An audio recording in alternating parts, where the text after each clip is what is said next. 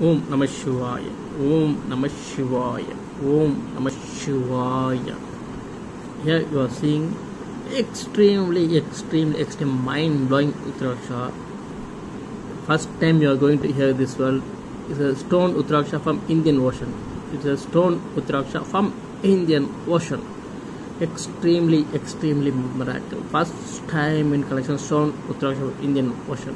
It's a stone Onmukhi Uttaraksha. Here it is a Himalayan Unmukhi Uttaraksha. It's a stone Unmukhi Uttaraksha Indian Ocean and it's a Unmukhi around Himalayan Uttaraksha. You see both are three identical. So only I compare it.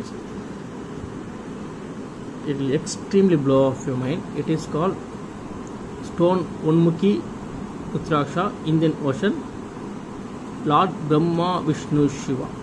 You see it is a Unmukhi it's uh, considered to be Unmukhi.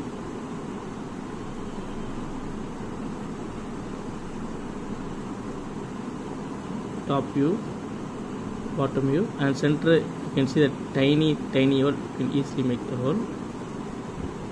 You see, totally look like a Lord Brahma Vagana Swan Hamsa.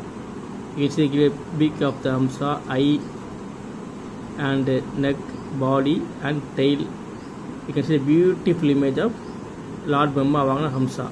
So it is for Lord Brahma. And when you cover this, you can see like a Vishnu Tilak.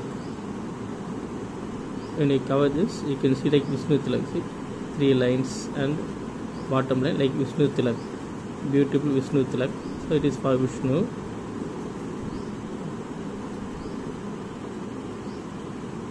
And here you can see clear Om, very clear Om and then like same look like Trishul also. Om and Trishul for Lord Shiva. So stone Unmukhi, Uttarakhand Indian Ocean, Lord Brahma, Lord Vishnu,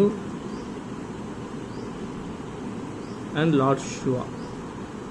See, extremely miracle, extremely miracle, extremely miracle first time the collection stone Onmukhi Uttaraksha from Indian Ocean. You see, it's identical.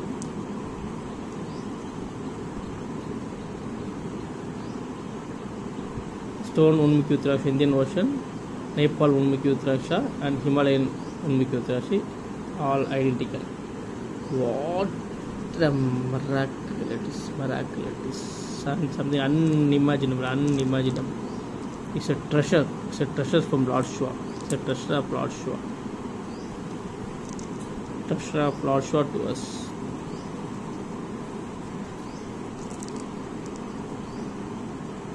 Om Namah Shivaya. Om Namah Shivaya. Om Namah Shivaya.